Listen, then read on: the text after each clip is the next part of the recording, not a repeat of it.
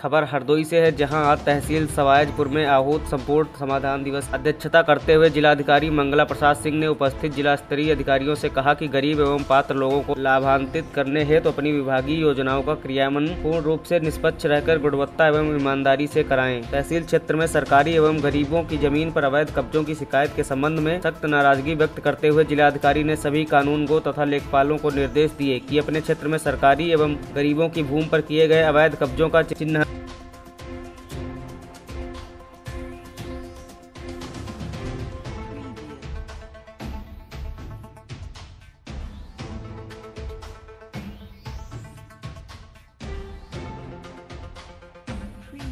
कमर एवं जर्जर विद्युत लाइन तत्काल बदलवाएँ और रोस्टर के अनुसार विद्युत आपूर्ति कराने के साथ ग्रामीण विद्युत उपभोक्ताओं की समस्या का त्वरित समाधान कराने का प्रयास करें। हरदोई से संतोष मिश्रा की report, TV one, India news.